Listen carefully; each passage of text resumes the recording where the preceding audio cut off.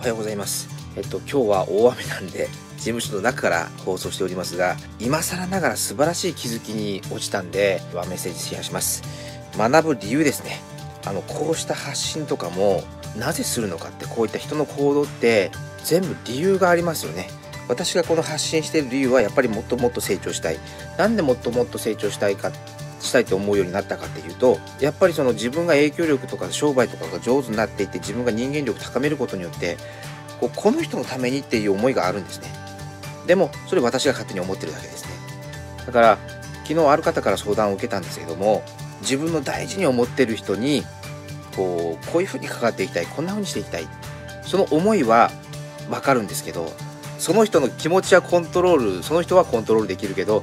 相手のことを大切に思ってるのはその人のだけであって相手は関係ないですもんね。思われてるだけで。だから私も妻やスタッフに対してあこんな風にしたらもっといいかなって思うことはあるんですけども理由ですよね。その人が本人がそう思わない限りあの行動しない。でそれがいいとか悪いとかじゃなくって妻は子供たちの面倒や家庭のことを本当に一生懸命やってくれてます。それは理由があるんですね。そうしたいんですよ。子供たちが可愛くてしょうがない。だから可愛い子供たちのためにこうしてあげたいああしてあげたいっていう理由があるから妻はやって。で私は私でやっぱり妻の役にも立ちたいし竹下家が良くなりたいし先日話しました人吉の水害地区の方々と直接お会いしてその方々の役に立ちたい。だから今の自分じゃ大したことはできないからもっともっと影響力つけたいと思うから学ぶんですよね。だから情報がバンバンこう引っかかるんですよ。自分のこの蜘蛛の巣というかこう通過していかなくって食ってきた時にあこれって思って掴むんですよね。で今朝やっぱ掴みました。でなんで俺こんな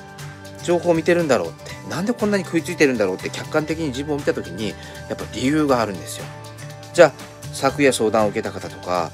そういったよく相談にこの人にこういうふうに伝えたいんだけどなかなか伝わらないんですよねって悩んでる人に対してその人が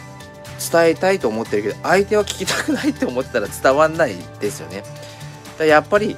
聞きたいと思ってる人勉強したいと思ってる人成長したいと思ってる人の空間に行って欲しがってる人に欲しいものを与える。それスムーズですよね。あこれ商売の原則だなって思ったんですよ。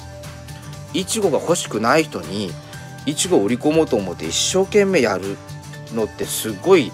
大変な労力で欲しがってる人にその人がもっともっと喜ぶようなことを考えて提案したらもうめちゃめちゃ楽なんですよね。だからそんな風に理由こう学ぶ理由って大切だなっていうのを改めて感じた今日の朝でした、えー、学ぶ理由今朝は人は行動するのは理由がある。以上です。